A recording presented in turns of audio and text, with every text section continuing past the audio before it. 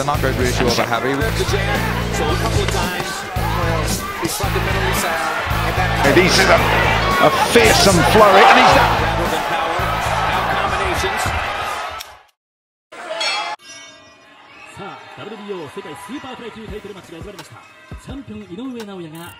白いグローブ、白いトランクス、そして一方、チャレンジャーが青いグローブ、黄色いトランクスのランキング1位のトップコンテンダー、タイ、ペッチバンボーン、ゴーキャットジムです。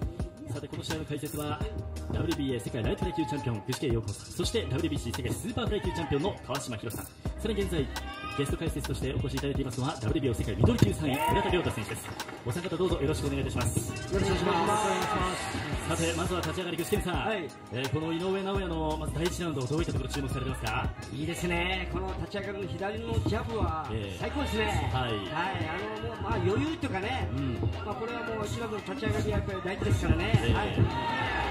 そして川島さんはこの井上尚弥のまず立ち上がりどんなところ注目していらっしゃいますか、あのスライドを見てますよね。ボディに入りましたそのジャックそしてジャブをついて先ほどのボディーブローですよねはい。非常にいい立ち上がりだと思います。えーそしてアマチュア時代からこの井上尚弥のことをよく知る村田選手、村田さんはこの試合まず第一ラウンド注目のポイントを教えてください、まずですね、直哉が1ラウンド目、非常に強いことを相手知ってるので、えガードをしっかり固めてますね。ーはい、で、多分後半で勝負しようっていう気だと思います。なるほどはい。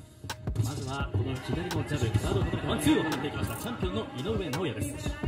なんといってもですね川島さん、はいあのチャレンジャーはトップコンテンダー世界ランキング1位ここ3年間負けなし16連勝中という強敵ですからねうん、あの非常に勢いありますよね。まええたあのビデオ見ましたけど非常に技巧派手ですねはい。テクニックあります。えー怖い相手ですねそうで。すね。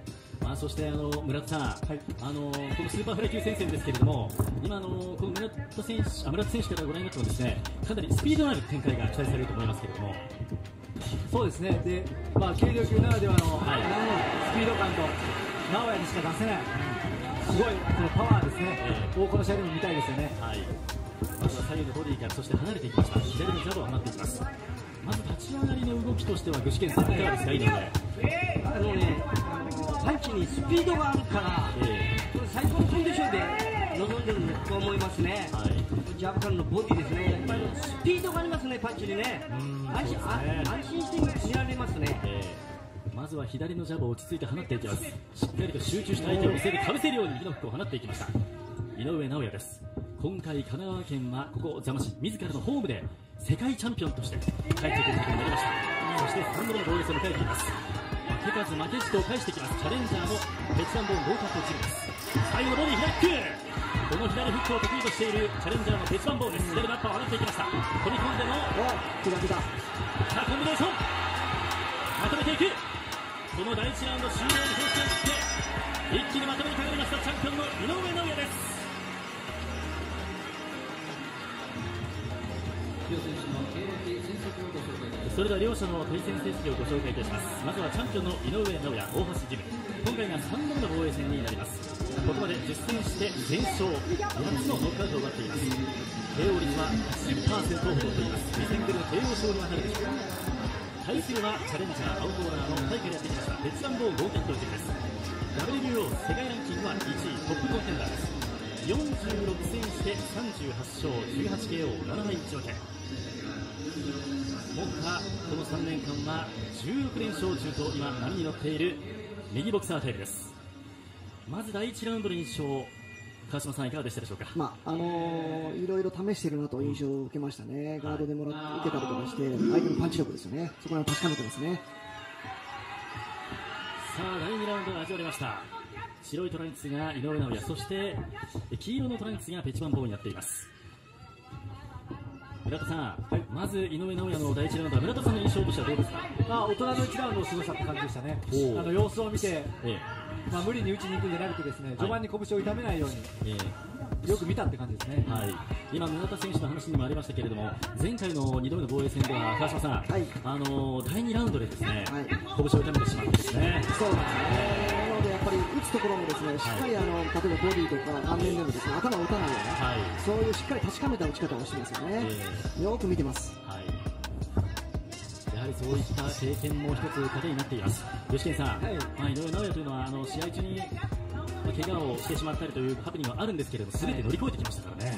そうですね前回もそ,、そうなんですけどね、ええ最後までやっぱりい痛いながらね、はい。よく手だ出してましたね。そうですね、はいそこら辺はまさに執念というものは井上家の血なのかもしれない。そうお父さんである井上慎吾トレーナーも話していました。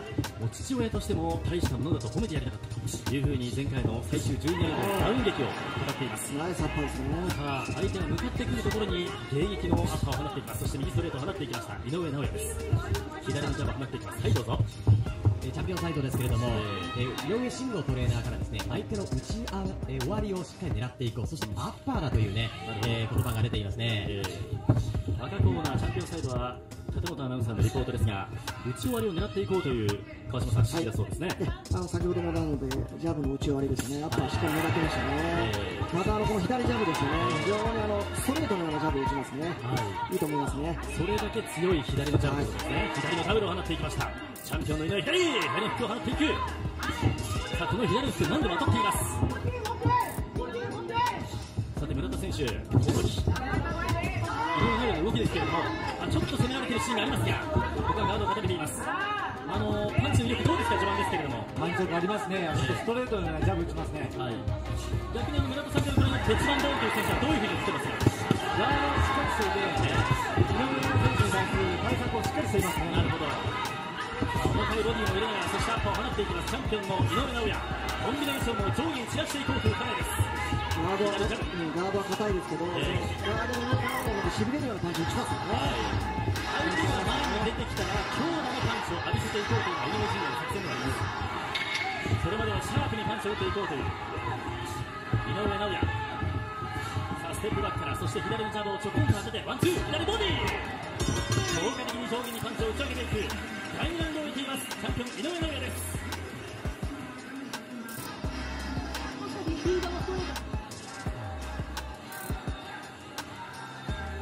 第2ラウンドですが、しっかりと相手のパンチ、川島さん見えてはいますね。まあ、ジャブの打ち終わりを右アッパーで狙って、そしてスウェーですよね、はい打った後も必ず避けるといううまいボクシングをしてますよね。えー少しチャレンジャーの左目の下傷が見えますさあ第3ラウンドが始まりました。まだまだ序盤の攻防です。さて具志堅さん、はい。まあ、井上尚弥も今日はですね具志堅さんの持つ世界タイトルの13回連続防衛の記録更新ということなんですけれども。いやいや、やっぱり更新する力はええ。大いに持ってますよ。はい。はい、今日のボクシング見たらね、え実にうまいですよ。はい、いつもと違ってですーね、えーひ左の使い方うまいですね。はい、しっかりとこのラウンドですが距離を取りながらそして左のジャブを上下に打ち込んでいこうという井上尚弥そして相手の右ストレートが飛んでいければ顔をずらす。いわゆるスリッピングアウェイを見せてみせます。そしてしっかりスウェーしながら相手のパンチをかわしていった3 2下さん、はい、まあ、なんといってもですね、井上尚弥陣で、まあ、慎吾トレーナーも話をしていますが、攻防一体のボクシングというものを常に意識して練習しているということで、その完成度というのはかなり高いと思うんですけれども、はい、この試合どうですか？今日はですね、もちろんそのディフェンス、攻撃、もちろんいいんですけど、ね、このジャブですよね、はい、この今日はこのジャブが非常にいいと思いましたね。ミガパー！迎撃のミガッパー、この一撃一撃のタイミング、村田さん、見事なタイミングですよね。天才としてが異様のないようなタイミングで打ちますね。えーしっかりと別番ボーンを捉えていますチャンピオンの井上尚弥です。左キックを放っていきます左フットで強靭にしてますよね。右左しかしも力いっぱいのパンチを返していくのは鉄番ボーンです右を放っていきました。鉄番ボーンナイスボディ放っていくでも頑張りますね。そうですね早く縛って。手を出してきますね。えーそこら辺はトップ16連勝中というムエタイでも50戦のキャリア大きく勝ち越しているという成績を残す相手 WBC さんからアジアのタイトルも掴み取っています、さあコンビネーション。しかしあの具志堅さん、はいチャレン。ジャーもどんどん前に出てきますねいや、やっぱりあの気持ちは強いね。えーはい。今具志堅さんからもそのキーワード出ましたけれども自分は気持ちが一番強いんだと井上と自分とではやはり気持ちが自分の方が勝っているだろうというふうにャレンジャーの別番ボーンは話をしていますそれがよく現れているんですよねで相手もいいあのコンディションを作ってきてると思いますね。えーはい。特にそこら辺どんなところで感じますか？やっぱね、あの軽量後のタイム選手ってすごく戻すんですよね。ええあんまり戻してないと思いますね。はい鈴木さん、はいどうぞそのチャレンジャーサイドはとにかくガードだけは絶対下ろすなと、ええガードに関するシーンだと非常に厳しくセコンドから飛んでいます。なるほどそこら辺の指示、村田選手の、まあ、見立て通りといいますか、あの村田さん、やはりここら辺ガードの硬さというところは、セコンド陣はかなり意識しているそうですね。まあ、一発もらったら終わってしまうというええパンチ力を持ってるってことですよね。そうですね。さあ左のジャブ、そのパンチ力を警戒しているいいですね、左ジャブからの右ボディ。左とつなげてみせました井上尚弥です。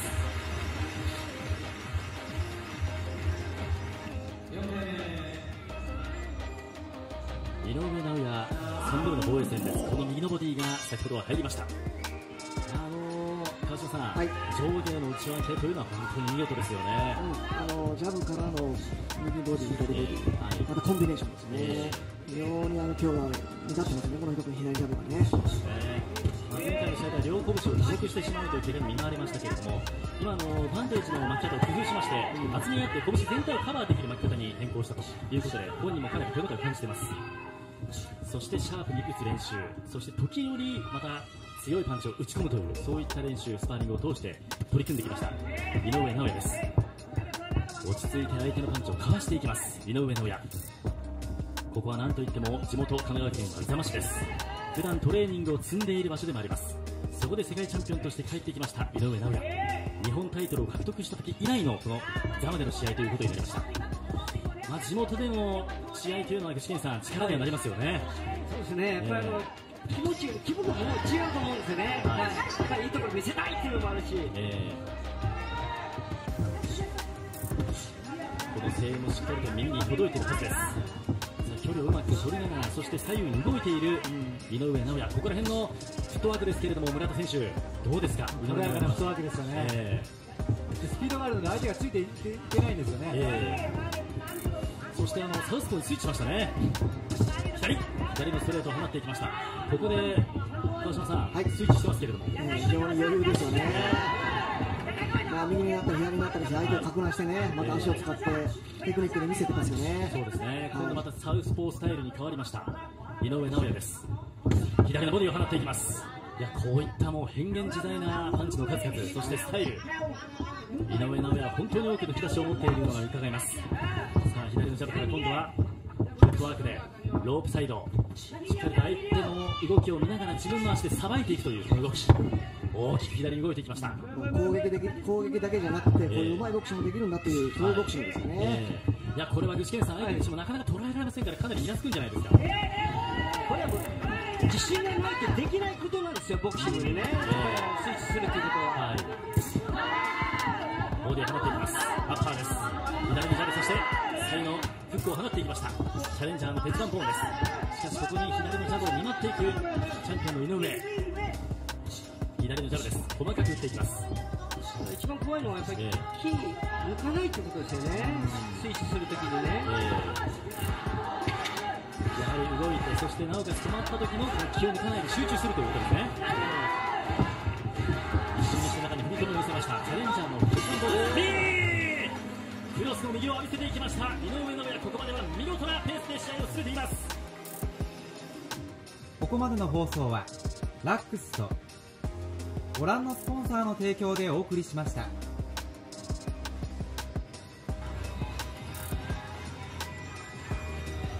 ぶせるような右のフックです。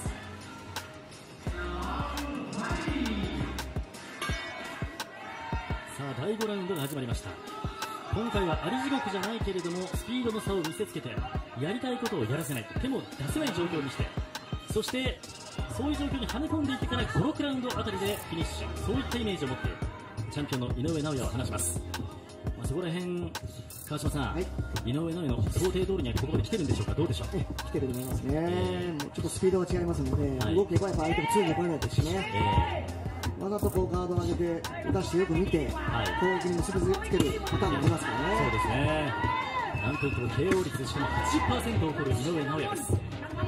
しかし気持ちの強さは非常にやはりこの世界タイトル戦にふさわしいチャレンジャーのベテランボーンゴーキャットジムです。井上尚弥にとっては3試合続けて防衛戦の相手が世界トップコンテンダーという今回の試合を迎えることになりました。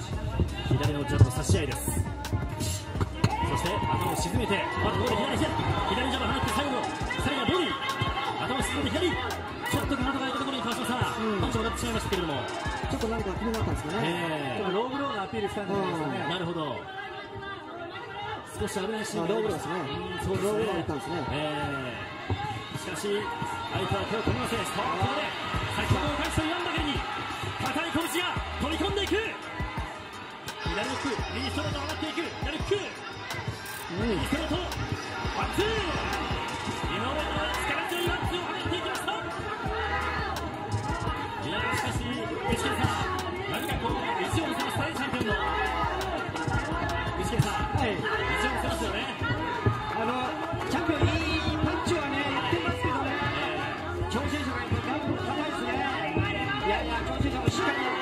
研究してますね。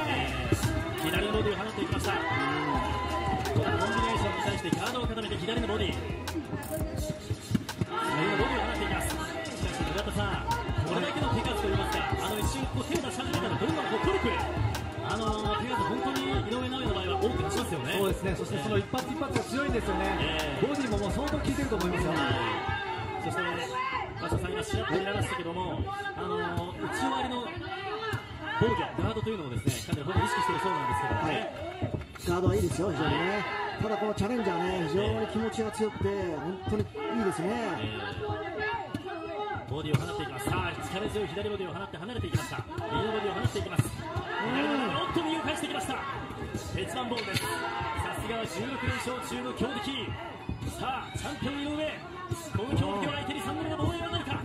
左のジャブから右。こジャブがいいですね、こは左のジャブで試合していきました。井上尚弥3度目の防衛戦です先ほどのラウンドですが、あの川島さん、はい。井上がガードをほどいたとこロングアピールしたということですが、そうなんですね。そこから連打を浴びせてきたチャレンジャー、はい、はい。もうちょっと隙あらば、やっぱ攻めてきますよね、この選手も。そうですね、はい。さあ第6ラウンドに入っています。井上尚弥世界スーパー大級タイトルマッチ。3度目の防衛戦です。まずは左のジャブ落ち着いた入りになりましたこの第6ラウンドです。さて今中盤に入っていますけれども村田選手、この中盤はどんなところ見どころですか？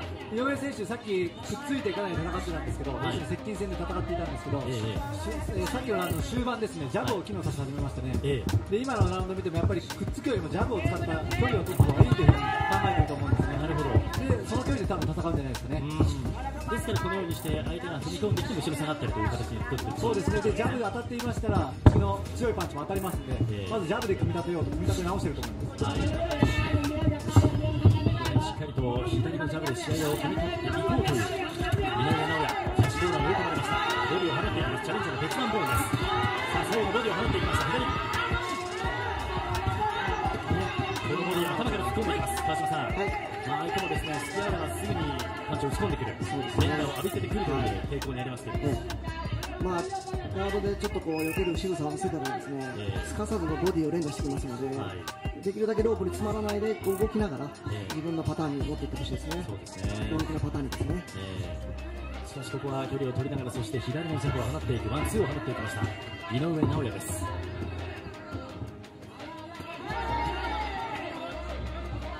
絶えず前に出続けるのはチャレンジャーのボールです。頭をつけてきますあとちょっと右が数がちょっと。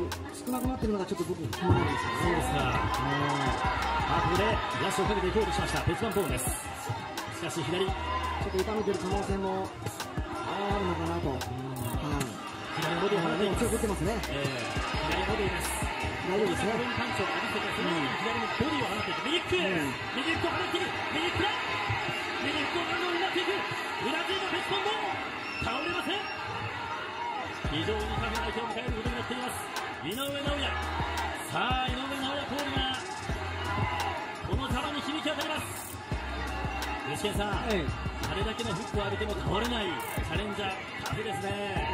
ガードガードをやっぱ硬くしてますからね、ええ。はい、だからあのボディからねはい上を攻めるっていうのもえいいタイミングですよね、これはやっぱり続けてほしいなと思うんですけど、やっぱりやっぱり距離だけのあのジャブがいいですね、えーこの左のジャブで一つ試合を組み立てながら相手と距離を取りながら戦っていく。井上尚弥。ですそしてこの強振がなるとさらに距離を詰めて足をかけていこうというところ。今お互いの腕が交錯する形になりました。さあ井上尚弥この後どんなボクシングを見せるでしょうか執念の逆転勝利を飾った井上拓真兄にバトンを託しました。その兄井上尚弥。WBO 世界スーパーフライ級チャンピオン。3度目の防衛戦です。あの村田選手、少しこの井上尚弥の動き気になるところがありますかね、どうでしょう？少し右ですね、ええ。右のストレート系を打ってないんですね、はい。ついた時に右のフックが打ってたんですけど、ええええもしかしたらストレートの時に当た拳が当たると痛いのかなと、やはりここでも左のパンチですよね。そうですね、くっついた時にフックアッパーなんですね。はい。ということは、フックアッパーで当たるなってるのは大丈夫だけど、もしかしたらストレートで使ってる拳がえ痛めてるのかなって気がしますね。え川島さん、はいまああのそういったあのハプニングもですね次々と乗り越えてきた井上尚弥ですけれどもね、まあ確かにこのラウンドもですね左手一本で戦っているようにも見えますよね。まあ、あの時折右を出してですね、はい手分からずに分からないようなええボクシングをしますよね。はい。右、ここで出しますからねええですからやはり効果的な右を出しておきたいところがありますけどもね。右を出していきました。リーディングでかわしてそして右に動いていきます。チャンピオンの井上尚弥です。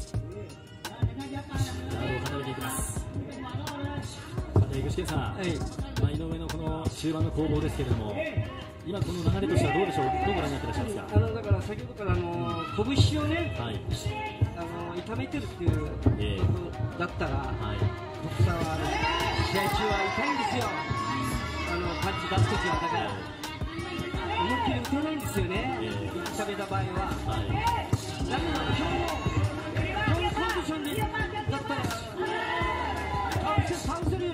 ますけどねそうですか。はいかなり今回調整も順調にうまくいったということで、これで掴んでいたチャンピオンの井上尚弥です。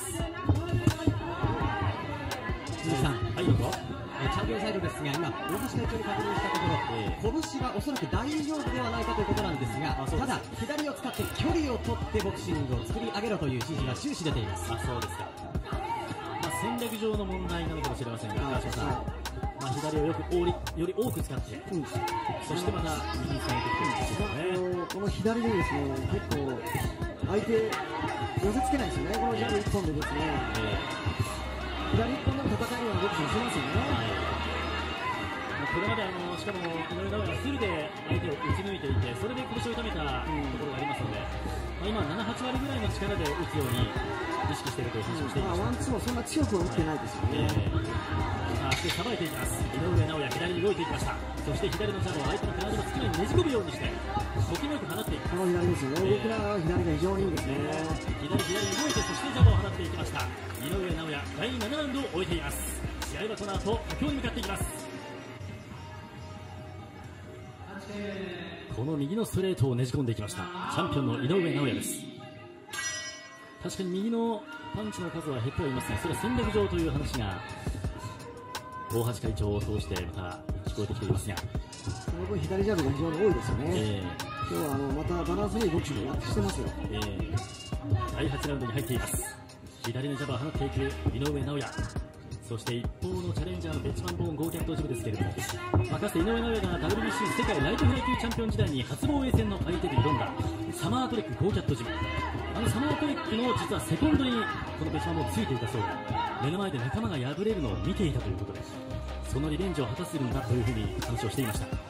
あの仲間を思う気持ちそれがもしかしたらこの気持ちの強さに具志堅さんつながっているのかもしれませんねチャレンジャーは、気持ちは強いですね。え鈴木さんーはいどうぞこのチャレンジャーサイドですけれども、ええかなり井上はダメージを感じてるんじゃないかと見てますね。あそうですかはい、ここまで手応えがつかんでいます。ただ、ガードを下げると必ず厳しい指示が飛んでなります。ガードだけは厳しく指示を出しています。えー、アウトコーナーチャレンジャーサイド森アナウンサーのリポートではありますが川島さん、まあ、チャレンジャーサイドとしてはかなり効いてるというふうに見てるということですよねそうですね。えまあ、どういう後この作戦で来るのか、はいどういう打ってどんどん前進してくるのかですーよね。えーしかし絶えず距離を潰していこうという。あこういったところを狙っていきます、チャンスと見りゃ来ますからね。はい、そうですね。やはりこう見るとやはり井上尚弥としてもですねガードというのはかなり意識しなければなりませんね。そうですね。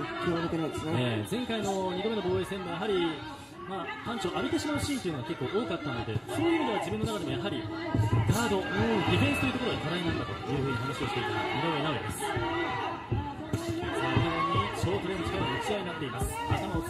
して左のジャブを細かく打っていきます。チャンピオンの井上尚弥。そしてチャレンジャーのペチバンボーンはその距離を潰していこうという何かを狙いすましたかのように前に出てきています左のジャブそして右し川島さん、はいやはり井上尚弥としてはですねここら辺は冷静に試合を進めているところもありますけれどもね、はいまあ非常に冷静だと思いますよね、はいあのやっぱりこのジャブね、えー左は世界を制するって言いますから、本当にその通りですよね、このジャブは。そして相手の内側にしっかり打ってますからね。はい、基本ですよ。はい、左のジャブを打っていきます。さあ、チャレンジャーの鉄棒を3度目。の防衛戦に臨んでいる井上尚弥、アッパーから、そして頭をつけて、ショートマンチを歩いていきます。ネットを放っていきました。この第8ラウンド、試合は後半戦に入っています。強打の井上尚弥、左のジャブ。残り10秒の標識が鳴らされています。相手をよーく見ています。そして左のジャブ足を使いながら放っていく井上尚弥です。第8ラウンドが終わりました。この後は第9ラウンドに入っていきます。さてこのラウンドですけれども相手の左のジャブをかわしながらただここですね。村田さんこういうところちょっと怖いんですよね。そうですね、ええ。ちょっと思わず何度か危ないって言ってしまうようなシーンもありました、えでまあ、こういうシーンもよりも気になるのがですね、はい。直哉自身、右ストレート7、8割で打ってる、そういう練習をしてると言ってるんですけど、はい。そのタイトルを取った試合、または初防衛戦の時はもうガードの上からでも倒すようなパンチでしたよね。うんそね。それをができる状態の上での7、8割ならいいんですけど、はいえ。もう全力で打てないという状態ですと、これは一つ武器を失っていることになりますので、ええ。そこはちょっと心配されますね。あそして今日フジサンケイクラシック2位だった石川遼選手も来ています。テイスさんも来てますねまあ村田さんからのご指摘ありましたけれども、まあ少しそういうところ気になるところはありますけれどもね。ただこの9ラウンド目というところで村田さんはどんなところを期待されますか？まあ、このままの展開でいくのか、はい。直哉がどこかで勝負仕掛けるのか、えそこはちょっと注目してみたいですね。そうですね、まあ、ここまでは確実にペースとしては川島さん握ってますよね。もちろん巡ってますよね、マイラムマイラム、ポイントを取ってると思うんですね。駄なパンチをもらわないで、しえ。っかり自分のパンチを決めて、えはい。まあ、KO に結びつければええ、一番いいパターンだと思いますけどね。頭を沈めてそしてボディそしてウェイト攻撃を仕掛けていきます。チャレンジャーのペッチマンボーンゴーキャットです。左のフック。これだけ、強いパンチをもらってますので、頭もちょっとぼーっとしてきてると思うんですよ、このチャレンジャーえね。ええ。だいぶ効いてきてると思いますね。えはい前に詰めていきます。村田さんここはあの井上としてはかなり前に詰めてきますね。そうですね、相手の勢いをやっぱり、ま、前に来させてしまうと、相手調子づきますので、はい。そういった意味でも受け止めてるんだと思います、なるほど。これ今の試合の流れ流れ展開、やっぱりボディをね、え徹底的に攻めていってもいいかなと。えはいこれ徹底的にボディを攻めることによってそこからの展開としてはどうなんでしょうか？あのガードが硬い硬いですからね、はいボディを痛めつけた方がいいかなって感じますね。そうすることによって相手のガードを下げさせて上の攻撃そうなんですよ。それがやっぱり手手をに結びつくかなって感じしますけどね。ええ距離を取っていきます。井上尚弥左のジャブを指導しますね。軽くこう打って動いて、打って動いてと、い。スタンドウェイですよね。まあ、本当に相手からすればですね本当あの詰めてくることもあれば、さらに距離を取ってくる時もあるとい。うことで、本当にこのいろんな戦い方をしてくるチャンピオン、かなりやりにくさもあるんじゃないでしょうかね。ポイントの取り方が非常にうまいですね。えー左のジャブを放っていきます、ステップを刻みながら、何かこう、リズミカルに井上尚弥が別番とゴーキャットジムの周りを回りながら、左のジャブを当てていきます、左、まあ、あれだけ接近戦をしておいて、これが急にこうやって動かれると、相手も対応できないですよ。えー左のジャブでなんとか当てようとした別番ボーンですが、そこをかわしていきます、チャンピオンの井上尚弥です、しっかりと相手の内割りを狙って、左のジャブをついていきます、左のジャブ、ステップイン、中に入っていきます。今度はジャブの差し合いになりました。やはりここは、高島さん、はいジャブ中心ですえね。ーそうですね、えまあ、ジャブでもどれだけ見せれるんだっていうところをね、今やってるわけですよ。ーえー。非常にうまいボクシしてると思いますよ。はい、そのうまさをここザムの地でホームで見せている世界チャンピオンの井上尚弥。相手のパンチをことごとくかわしてみせました。井上上尚弥がうまさを見せたラウンド。そして一方執念で前にどんどん詰めてこようとするチャレンジャーの対ベッツバンボーンです。さて川島さんこの左のジャブ、ジャブ打ってスウェーをして避けてまたジャブのリターンですよね、え非常に距離をうまくこう把握しているというか、ーはい。コントロールしますよね。そうですね。この動きにやっぱりこのチャレンジャーがこう対応できてないですよね。急にこう動かれるとですね。そうですね。あのこうなりますとあのチャレンジャーベッツバンボーンとしてもですねおそらく、まあ、いくら効いてるというふうに踏んでるとはいえですね。ポイントの面を考えるとどこで攻めてくるのかう。う、んですね。もう KO しかないと思ってるんじゃないですか。えあ WBO 世界スーパーフライ級タイトルマッチ。第10ラウンドに入りました。あと残すラウンドは3つになります。鈴木さん、はいチャンピオンサイドですが、やはり若干手が痛いようです、あそうですか。はい、そして練習の時にも少し腰を痛めていたそうで、ええその影響も少し出ているかもしれない、ですから本来の戦い方ではない戦い方を今、選択しているという大橋ジム陣営ですね。うんやはり村田さんの見た通りといいますか村田さん、あのそういった中でのこの戦い方だったんですね、そうでしょうね、ええ。本来の直江ないですね、えただ、あのここは打ち合いになっていきますソートレここからチャンスあると思いますよ、ええ。相手もう前に出るしかないですよ、絶対倒しに行くしかないんで、ええしたら隙もできますんで、はい鈴木さん、はいチャレンジャーサイド改めて話を聞いたんですが、ええ。やはり元々劣勢だとは感じてないんですそうですよふうに捉えてますね。はい。チ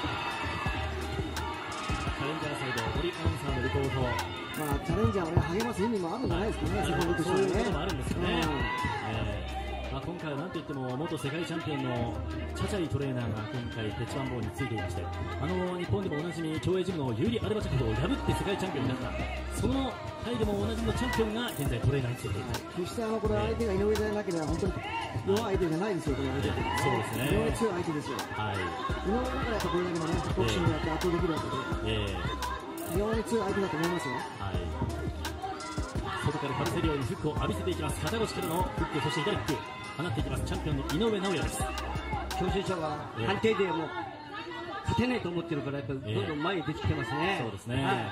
まあそこの前に出てきたところでカウンターのチャンスは具志堅さん広がりますけどね。そうなんですよね。えー左放っていきます。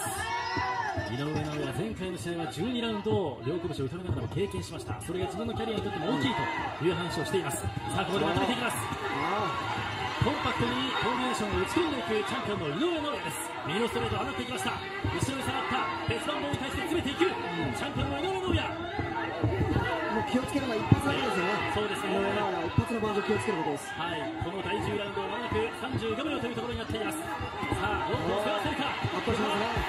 圧倒しています。手を出しません。チャレンジャーのベストアンドロールして、